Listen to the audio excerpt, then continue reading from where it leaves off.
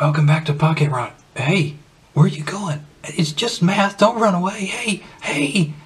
Oh, well. Okay, now I'm going to derive the quadratic formula for you. Here I have the quadratic formula up here, but I'm going to show you how we get the quadratic formula so that you just don't have to take my word for it that this is a quadratic formula. I'm going to show you how you get it from completing the square. Okay, so let's say we start out with this standard equation where A, B, and C are my coefficients. And so when you com I'm going to complete the square doing this. Okay, and then once I complete the square, I will get the quadratic formula. So the very first thing when you complete the square is you do not want this coefficient out in front. You want a coefficient of 1 in front of your x squared term.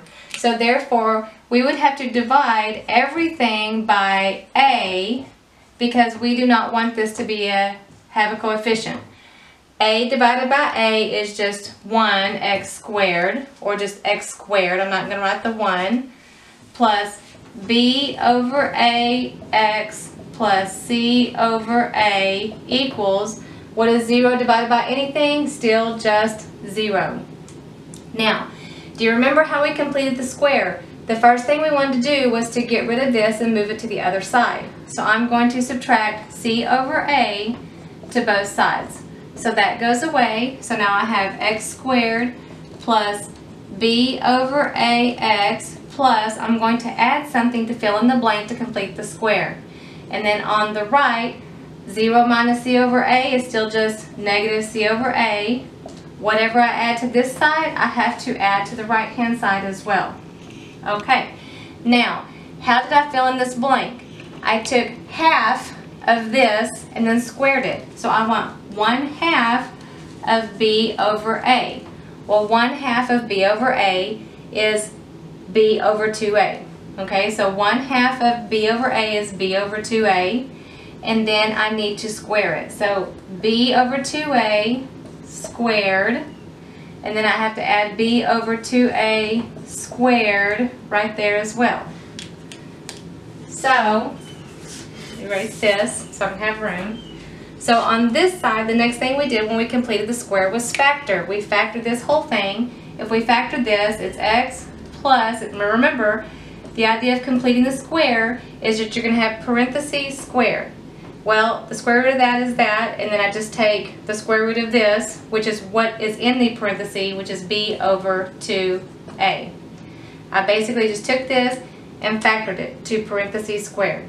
So, and then on the right hand side, we still have negative c over a plus squaring this fraction, remember square the numerator and square the denominator, the numerator square would be b squared.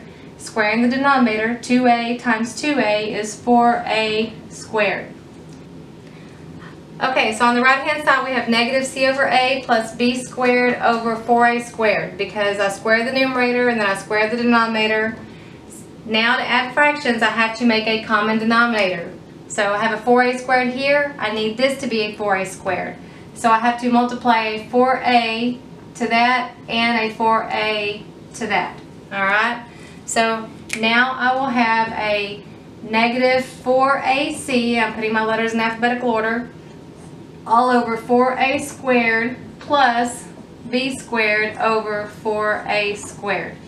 Now that I have a common denominator, I can combine my numerator. Negative 4ac plus b squared all over 4a squared.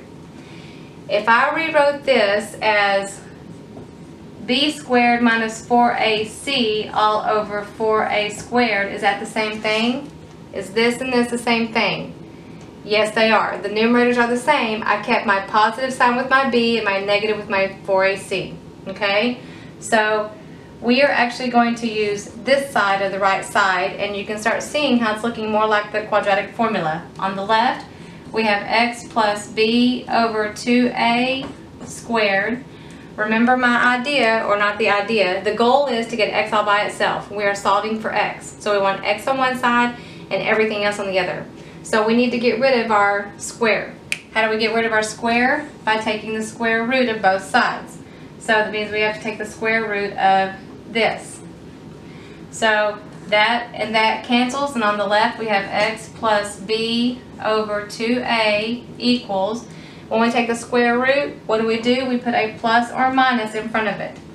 And then when we do the square root of a fraction, you have to do the square root of the numerator and you do the square root of the denominator.